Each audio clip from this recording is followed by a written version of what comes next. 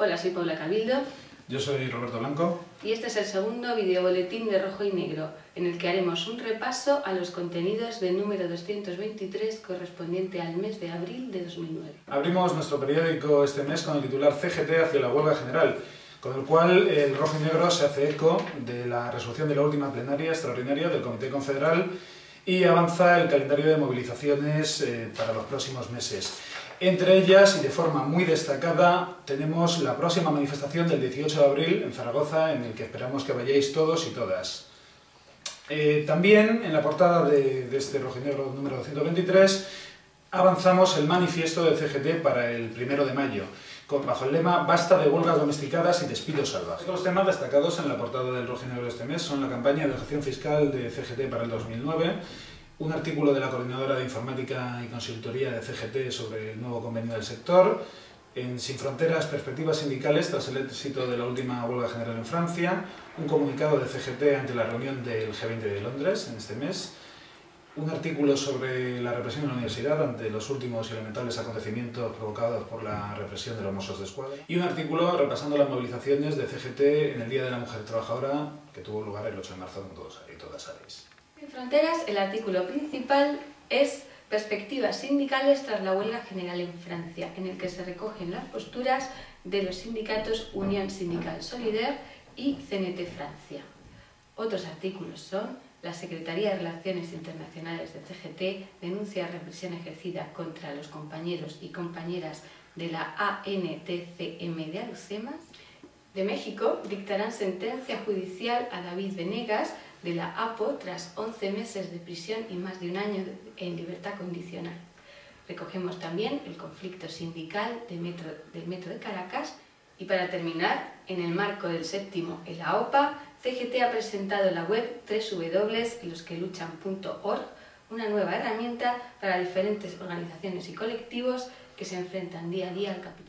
Bueno, y como anunciábamos, abrimos la huelga sindical con la próxima movilización de CGT contra la crisis, haciendo una huelga general, resultado este calendario de la última plenaria extraordinaria del Comité Confederal celebrada el mes pasado. Seguimos con un comunicado del secretario permanente del Comité Confederal ante la reunión del G20 en Londres. Este mes también avanzamos el comunicado de CGT para el primero de mayo, basta ya de huelgas domesticadas y de despidos salvajes, y entre otras noticias destacadas, como anunciábamos al repasar la portada, un artículo de la Coordinadora de Informática y Consultoría de CGT sobre el nuevo convenio del sector que denominan como precario, explotador e insuficiente. Otras noticias destacadas, el grupo Telefónica congela los salarios de Telefónica SAU, el jueves 12 de marzo una huelga de cuatro horas de los carteros de Barcelona y un encierro de personal de oficios servicios internos en el Polideportivo de la Arganzuela, de Madrid. Noticias en la sección de laboral siguen las movilizaciones de CGT contra la política laboral en el grupo Citibank, alcanzado también un acuerdo entre empresas y sindicatos en Correos de Barcelona, un artículo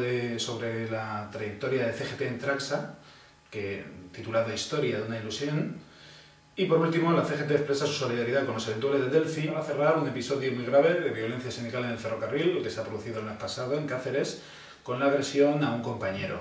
En el próximo número eh, tendréis oportunidad de ver imágenes y una crónica de la manifestación que tuvo lugar también este mes en Cáceres por este motivo. En Confederal publicamos una entrevista a José Francisco Vidaña Pérez, secretario general de CGT en Cantabria. También hablamos de las jornadas de formación, medidas contra el paro y del pleno de sindicatos del País Valencia y Murcia. De nuevo, SP de la Federación Metalúrgica de Cataluña y cerramos como noticia curiosa con una web de antidisturbios que señala a la CGT como radicales y, violentos. En Agitación hablamos de la campaña de excepción fiscal al gasto militar de CGT 2009. Rompamos las filas. Condenados dos policías en el juicio de los manifestantes de la Recade sobre la brutal represión de las manifestaciones anti-Bolonia este pasado mes que V de Vivienda sacó a la calle a más de 5.000 personas de una acción directa contra los bancos y las empresas de trabajo temporal en Getafe y centenares de detenidos en Bruselas al tratar de entrar en el cuartel de la OTAN. Y en nuestra sección de cultura este mes nos hacemos eco de la llegada de la exposición Pedagogía Libertaria a Valladolid, cuya presentación tuvo lugar el pasado 24 de marzo. La CGT ha editado catálogo, magnífico catálogo, que podéis ver ahora mismo, Y como noticias más cortitas, eh, nos lleva afuera del Estado español, concretamente a Venezuela y a Colombia. En Venezuela anunciamos la primera feria del libro y vídeo libertario de Caracas, Documenta 2009, que tendrá lugar la segunda quincena de noviembre de este año. Y en Colombia nace la radio Despertar Libertario.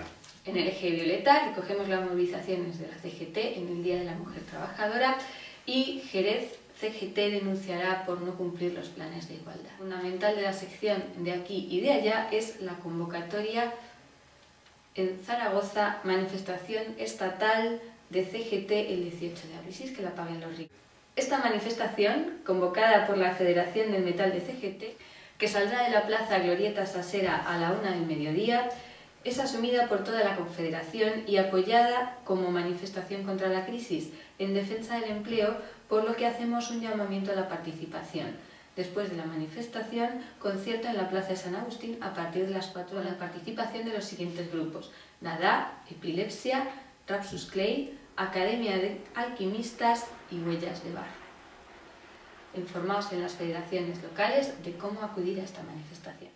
Y llegamos a nuestra sección de opinión y debate, que abrimos esta vez con doble editorial. Por un lado, pasos firmes hacia la huelga general, donde se valora del periódico como un gran avance en la declaración de la última plenaria extraordinaria del Comité Confederal en este sentido. Y como segundo editorial, Perros Guardianes, al hilo de las eh, imágenes que hemos podido ver este mes en televisión de la represión brutal de los Mossos de Escuadra a las manifestaciones anti-Bolonia en, en Barcelona, que lo que viene a decir en el editorial es que todo esto que hemos visto no es un hecho excepcional, sino que es bastante habitual y nosotros no lo encontramos cada vez que cubrimos una manifestación. La dureza de la represión policial, quiero decir, pero guardianes al servicio del poder. Continuando con la sección de opinión y debate, tenemos artículos de Carlos Taibo en Defensa del Decrecimiento, El retorno de los brujos, de Rafael Cid, y París Kronstadt Iruñea, del colectivo Malatestos, amén de las habituales viñetas de Paula Cabildo, Davi, Humor en la Red, y en Manolito Rasamango su personaje gregario, ocupa y precario. Con motivo de la campaña hacia la huelga general, recuperamos los editoriales de Rojo y Negro en anteriores huelgas generales. Paremos el país para echar a andar, el editorial del número 7 de Rojo y Negro, correspondiente a diciembre de 1988, la huelga del 14 de diciembre, y sobre la huelga del 27 de enero de 1994, que corresponde con el número 52, el titular Por una sociedad más justa, el día 27 a la huelga general. Y ya casi casi terminando con el periódico de este mes, la sección de Memoria Libertaria, que abre con la noticia el Grupo de Trabajo Recuperando la Memoria Histórica y Social de Andalucía, de CGT Andalucía, se ofrece para la señalización del campo de concentración franquista de la Corchuela.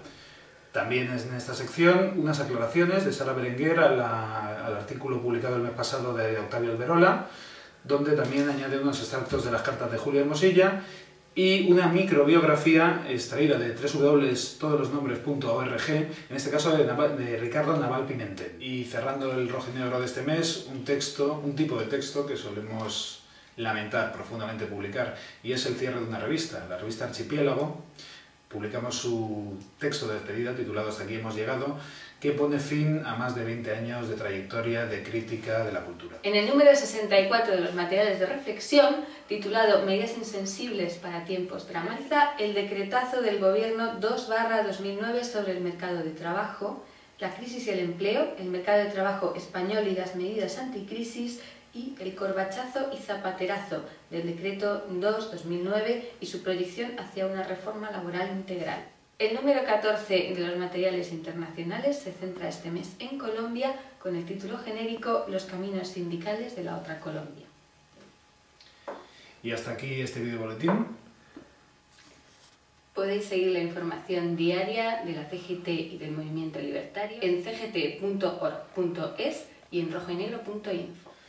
Y no queremos despedirnos sin recordaros a todos y a todas que acudáis a la manifestación del 18 de abril en Zaragoza. Ya sabéis que podéis informaros sobre cómo llegar en vuestras federaciones locales. Nos vemos allí.